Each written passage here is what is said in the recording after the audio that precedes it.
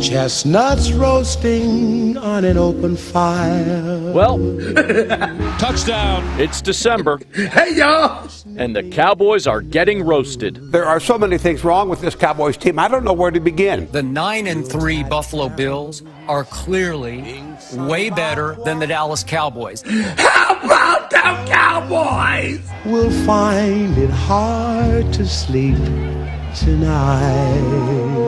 It's week 14 and the Dallas Cowboys are 6 and 6. This is certainly a, a, a, downer. A team full of pro bowlers and big money contracts. We have to play better football. Reduced to mediocrity. No, we're a better team than we've been putting on film every Sunday. And the frustration has started to boil over behind closed doors and on the practice field. How was practice today? It was a little chippy and uh, ready to go. Twitter has been a uh, dark place for Cowboys fans lately, but let's look at the big picture because they're still atop the division.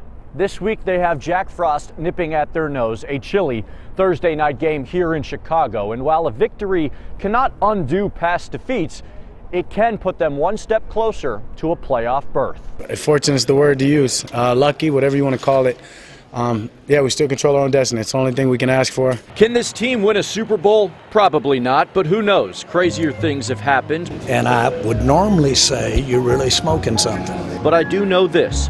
To do so, they'll need to beat a team above 500, which they haven't done yet. And he's going to get sacked again.